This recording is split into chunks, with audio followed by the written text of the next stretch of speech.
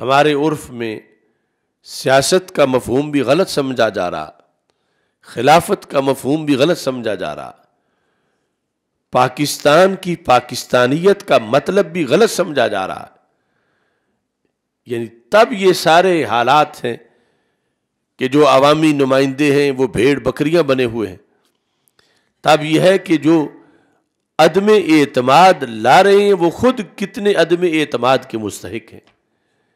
ये लोग बारी बारी पाकिस्तान को लूटने वाले हैं, क्योंकि इनमें कोई भी ऐसा नहीं कि जो सईदना सिद्दीक अकबर रदी अल्लाह तु का अक्स जमील हो, सईदना फ़ारूक आज़म रदी अल्लाह तु की सीरत का मुतवाला हो, हज़रत सईदना उस्मान गनी रदी अल्लाह तु की तालीमत का पैकर हो, हज़रत मौला अली रदी अल्लाह तु के नक्श कदम पे चलने वाला हो।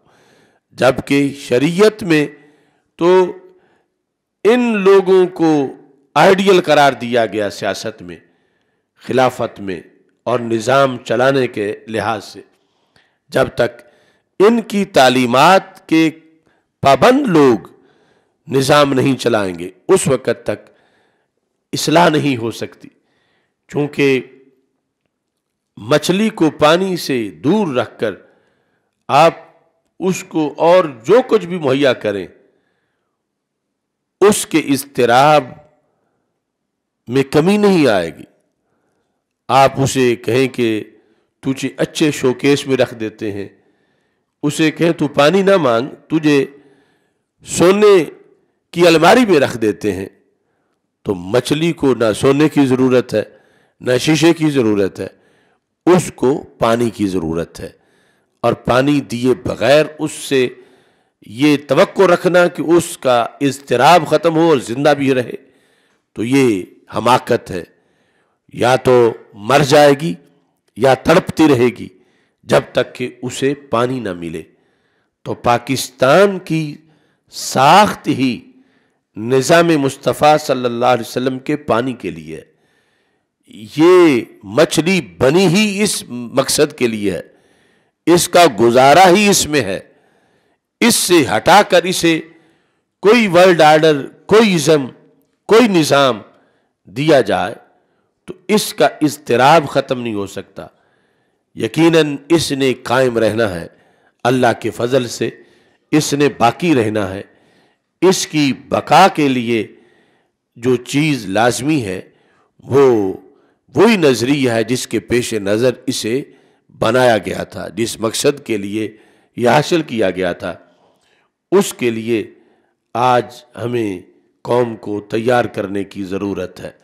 यानी बज़ाहिर ये जितने लोग असम्बली के अंदर खा वो इकतदार के बेंचों पर हैं या अपोजिशन के बेंचों पर हैं, ये पाकिस्तान के मसले का हल नहीं, ये सारे पाकिस्तान के लिए खुद एक मसला है।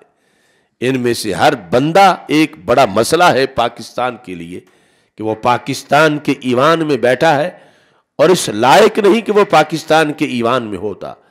वो उस ईवान में बैठा है जिसकी मिसाल एक मस्जिद जैसी है।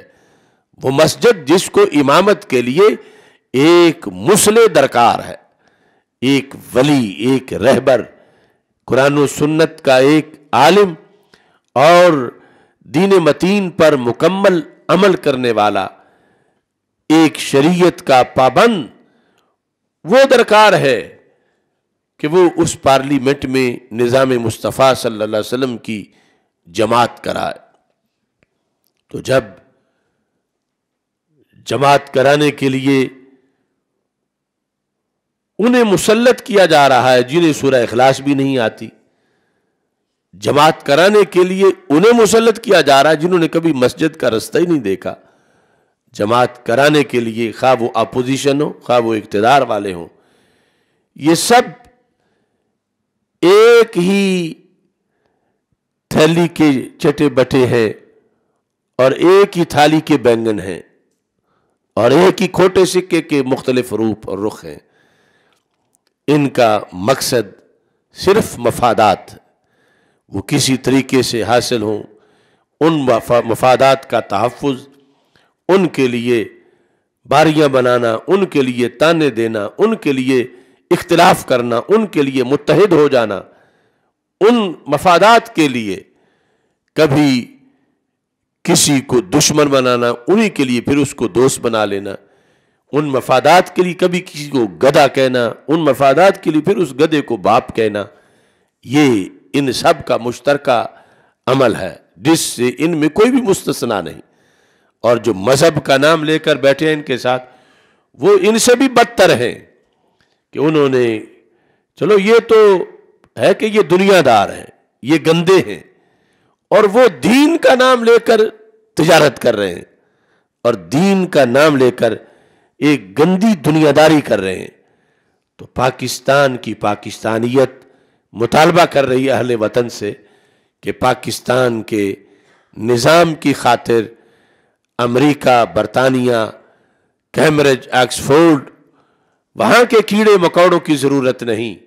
पाकिस्तान का निज़ाम कुरान में है, सुन्नत में है फ़िक इस्लामी में है।